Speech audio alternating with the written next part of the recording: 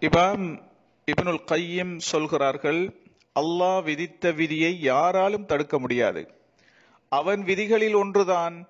யார் அல்லாவை நேசிப்பதை விட அவன் அல்லாததை அதிகம் நேசிப்பாரோ அவர் அதன் மூலம் வேதனை செய்யப்படுவார். அல்லாஹ் சொல்கிறான் ஒவ்வொருவரையும் அவரவர் பாவத்திற்கு ஏற்ப நாம் தண்டித்தோம். ஃபிரவுன் அல்லாவை விட ஆட்சி அதிகாரத்தை அதிகம் நேசித்தான். அதை வைத்து பெருமைப்பட்டான். அது பற்றி திருமறை சொல்கிறது பிராவுன் கூறினான் என் சமூகமே எகிப்தின் ஆட்சி எனக்கில்லையா? இந்த ஆறுகள் அனைத்தும் என் காலடியில் ஓடுகின்றதல்லவா? என்று கூறினான். ஆட்சியை அல்லாவை விட நேசித்தான். ஆகவே அல்லாஹ் இந்த ஆறுகள் அனைத்தையும் அவன் தலைக்கு மேலால் ஓடச் செய்து தண்டித்தான். காரூன் செல்வத்தை அல்லாவை விட நேசித்தான்.